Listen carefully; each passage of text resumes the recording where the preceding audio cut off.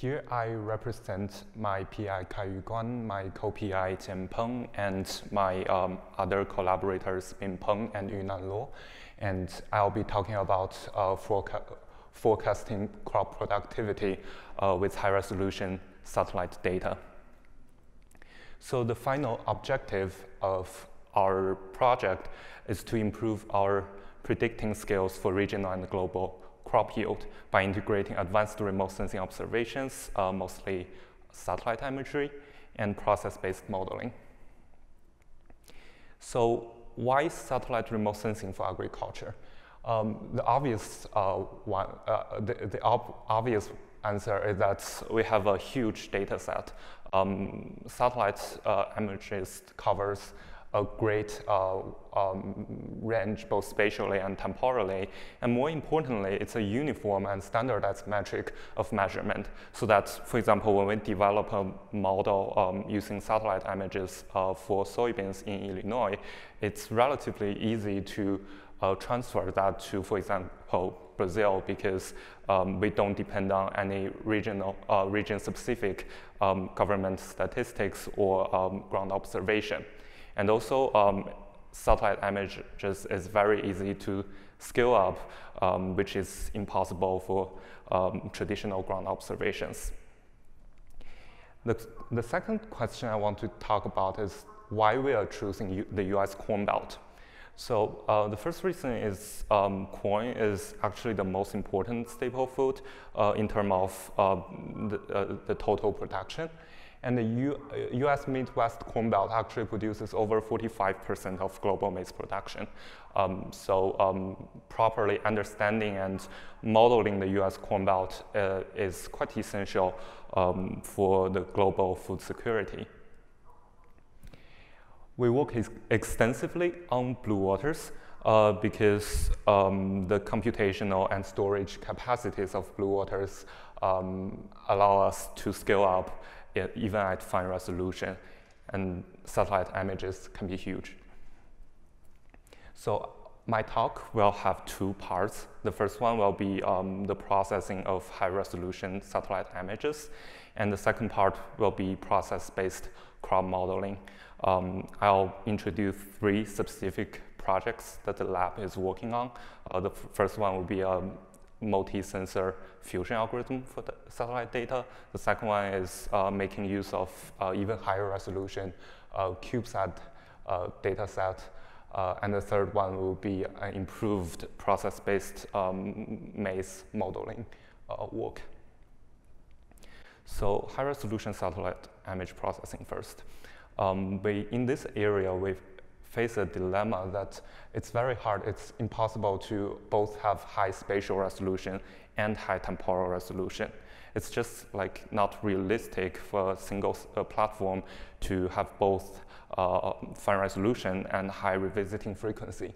But unfortunately, that's what we need for agricultural analysis because we need a continuous time series and um, we need to ideally look at each individual field, for example. And this is a list of some of the platforms we are using. Um, if, you, if we start from the bottom, we see um, NASA's MODIS mission, which has 500 meters spatial resolution. And if we go up, we have uh, Landsat or uh, Sentinel-2 of uh, European Space Agency. They have finer resolutions. But if we rank this list again uh, in terms of frequency, then MODIS, which only has 500 meter resolution, the only one that has daily um, data coverage. And this is a picture of uh, what different resolutions look like um, in a, a, highway exit and part of a um, field. And as you can see, uh, for agricultural, for uh, meaningful field level agricultural analysis, we really need at least 30 meter resolution um, to, to do anything actually meaningful. Um, so the first work I'll introduce is STAIR fusion, um, which is a generic and fully automated method of fusing um, images from multiple sensors. Um, it captures the rough uh, time series trend from the high resolution low a high frequency, low resolution sensor such as MODIS, and the spatial um, details from higher resolution images um, such as Landsat. And again, this is a generic uh, algorithm, uh, but currently we are using, for, uh, using it for fusing MODIS and Landsat so that we have a 30 meter resolution product. Um, and it faces some additional challenges. For example, um, there is cloud and cloud shadows, uh, which cause gaps. And there is a, a malfunction with the Landsat 7 platform's scanline corrector. Uh, so we actually, uh, instead of having a nice image, we have something on the um, right panel uh, with those black lines. And those missing data um, can cause inc inconsistency um, between the um, data that we actually have um, and the data that we need to fill from previous and um, later images as well as um, the regions surrounding, surrounding it when we are trying to produce a daily frequency cloud-free image. And this is one of the main challenges of this work. And um, I'm just going to play a video of a demonstration of this what of this work um, in the Champaign County in the year of 2017. And on the left panel, it's a true color RGB image. On the right panel, it's a, it's a GCVI or a kind of vegetation index. Um, and as you can see at this resolution, it really allows us to do something um, at pixel level um, that's, um, that has higher resolution than the outline of each field. The second project I want to talk about uh, is that we are trying to make use of um, what's called CubeSat platforms. So basically, um, it's a it's a kind of miniaturized um, satellite platforms. And this particular uh, mission is owned by a private company called Planet Labs. Um, it solves the issue of, uh, it solves the trade-off between high resolution and high frequency by using a fleet of almost 200 small um, CubeSat platforms. It has really high resolution, at least for agricultural uses, uh, of three meters. And it has a um, it has a revisiting period of a couple of days, uh, which is really good. But it also, have, it also has problems that are unique to this kind of CubeSat approach. For example, there is inconsistency in the spectral response um, of different platforms, which um, a single sensor uh, platform su such as Landsat 7 or Landsat 8 doesn't have. Um, it also um, has a smaller um, spectral coverage, so it only has four bands or four filters, um, namely RGB and near infrared, whereas sensors like MODIS and Landsat can have six or seven or more um, bands. And for that reason, the quality assessment algorithm, uh, most, uh, mostly cloud or cloud shadow detection of CubeSat is relatively poor uh, due to, partly due to the limited number of filters. Um, due to all those reasons, it's, uh, the quality of um, the surface reflectance product is not as ideal uh, as we want for agricultural analysis. Um, it's very good for things like seeing, uh, locating a ship in an ocean or um, counting how many parts there are parked at Walmarts, but it's not really um, very good um, for agricultural use. And finally, uh, because it's owned by a private company, um, we actually have to purchase the data. So although it has a low revisiting frequency, uh, we do want to reduce the amount of data that we originally acquire as much as possible. And we developed a complete pipeline that generates a more usable uh, PlanetScope derived dataset that is more ready for agricultural analysis. Um, and this work is actually built upon the fusion uh, work that I just talked about. Um, so basically, it uses the fusion product to perform uh, a series of spectral correction and um, outlier or cloud detection and time series smoothing. I'll just skip the whole work uh, flowchart and show some results. So this one shows the bigger idea. Here we are using MODIS, but we are, uh, we are actually also using uh, the, the STAIR Fusion product to do an atmospheric correction, which basically corrects what the sensor actually sees um, in the space to um, the ground surface reflectance. Um, and as I said, our main purpose of this work is uh, agricultural analysis, so we can actually acquire uh, more information based on the type of um, the crop type. So, for example, um, soybean field, our soybean fields in Champaign uh, will look pretty much the same, um, although and they, and they share a very similar uh, baseline time series. It could there could be a phase shift or um, change in um, the magnitude scale, uh, but um, the, the shape should be very similar overall. And we can use this piece of information to um, remove more, more, outliers that are left because of the poor quality of cloud mask. Um, and this is a demonstration of the uh, spectral response correction. Uh, what we do here is that we match the histogram of um, the Planet Lab data set.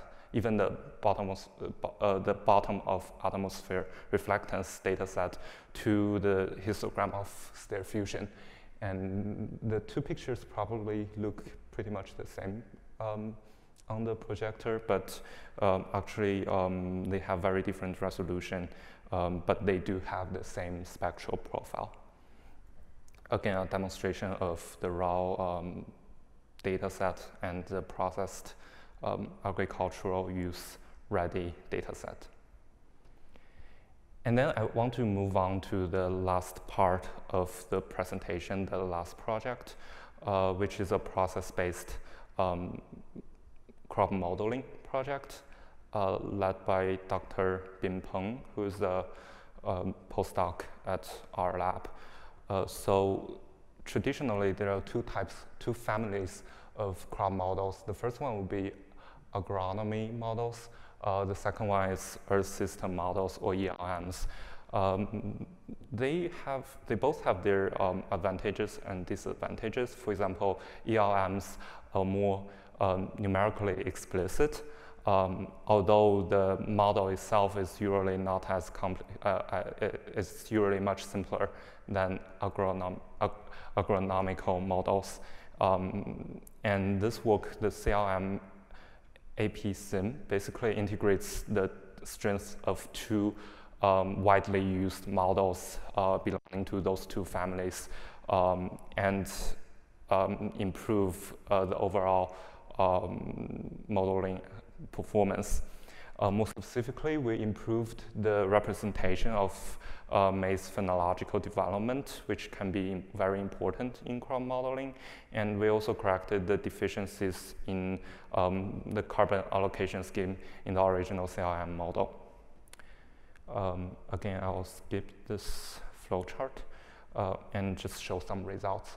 Um, on the top left figure, um, we can see that our model's um, prediction of harvest index uh, showing the green box is much closer to the observation showing in gray than the original CLM model, which is showing in red. And similarly, we also, uh, the old model, the, the old CLM model is known for an overestimation of um, below ground biomass, um, which is shown in the um, figure at the bottom in the left panel um, in the purple color. And our model, uh, which is shown on the right panel, um, is much similar to the observation shown in the middle, um, although we don't exactly know how well our model performs um, in estimating the, the root um, biomass because we can't really observe that uh, empirically. Um, on the right on the plot on the right, uh, we, you can also see that uh, this new model is also better at, at estimating um, canopy height. Um, so our model performance is showing the solid line, Uh, and you can see it's closer to the dotted observation data than the original CLM model showing the dotted lines. Moving forward, um, we will try to scale up to the entire um, US Midwest Corn Belt uh, instead of um, some like currently we are just doing uh, some experiments in Illinois or maybe um, Champaign, uh, the Champaign County. Um, we do intend to scale up to the entire US Corn Belt and uh, we are planning to use explicit calibrations uh, at grade level. And uh, more importantly, we are trying to integrate the satellite data um, to our um, crop modeling step now that the fusion algorithm and the uh, CubeSat processing algorithm is uh, completed. And finally, uh, one of the um, bigger goals of our project is to provide a um, real-time forecasting of crop yield. Um, and you can probably see that the roadmap of our project is to um, first um, generate a very a, a, satellite data set that has really good quality that um, no one has ever had before for agricultural analysis and then we can push uh, we can then push the boundary of more advanced um, satellite remote sensing based crop modeling work.